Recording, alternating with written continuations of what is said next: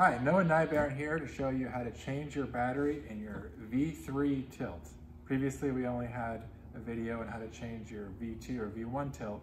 Now we have a video for your V3. The V3 has a single cap.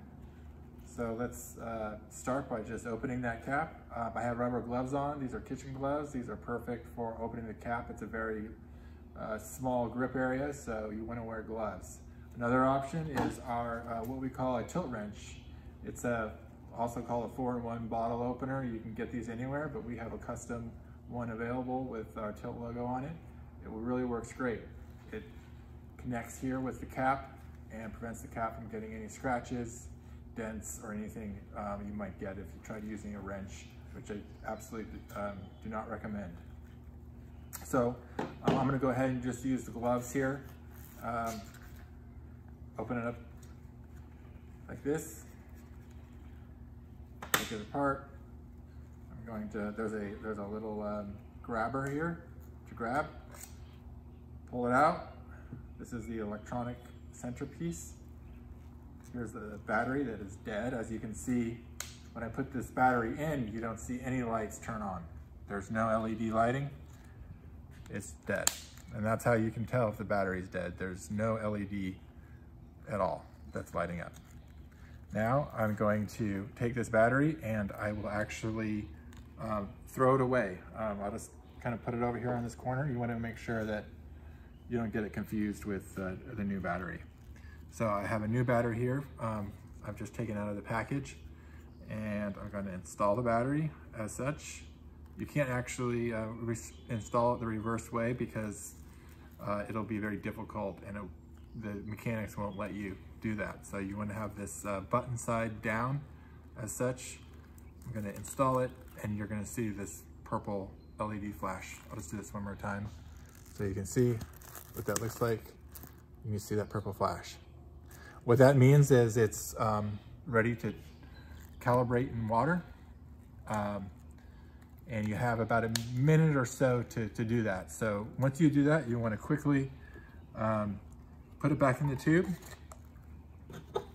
Get your, your cap and uh, washer assembly here.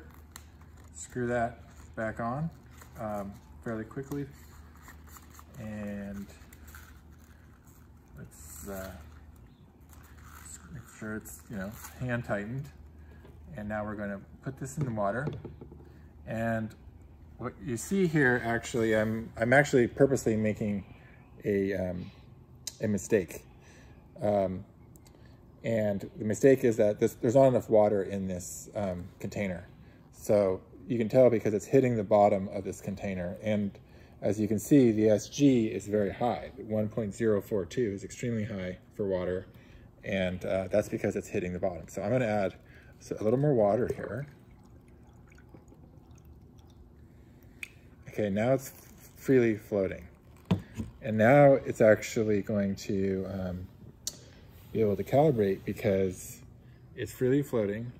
Um, and once it's calm and stable for 30 seconds or so, this number here will turn to one and you'll see uh, a green flash coming from the tilt. So let's, let's see if it'll do that. Okay, and it just stabilized and you can see it now reads 1.000. And there you have it. You have a completely calibrated um, and new battery in your tilt. Um, a few other things you can uh, do. Um, one option while you're doing this is you can replace the, uh, the washer, the sealing ring that goes um, on this tilt. And uh, these are available from our website as well. So if you want to do that, it's purely optional, uh, but we have these available.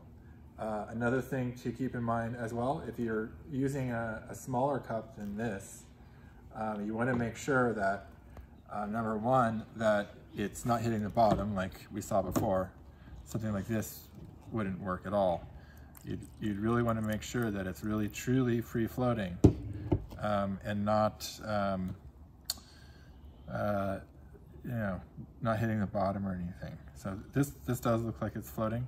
Another thing you want to consider is if you put it in upside down, there's no room for it to turn over. So be sure to um, put it in uh, with the cap end down like this. So just a few tips. And there you go. That's a wrap.